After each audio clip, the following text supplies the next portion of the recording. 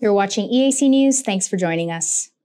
Lbokator, an ancient Cambodian martial art, has been officially inscribed on UNESCO's representative list of the intangible cultural heritage of humanity.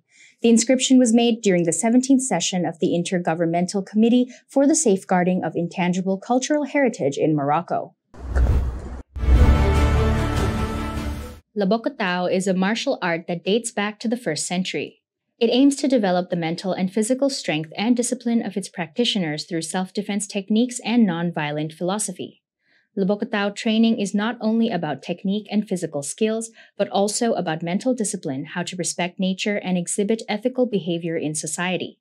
Cambodia already has eight entries inscribed on UNESCO's World Heritage List, including the Angkor Archaeological Site, the Royal Ballet, Sbek Thom or Big Skin Shadow Theater, the Temple of Preah Vihear, the Chapei Dang Veng, traditional Cambodian tug of war, the Sambor Pre Kuk Temple, and the Khmer Masked Theater of Svay Andet Pagoda.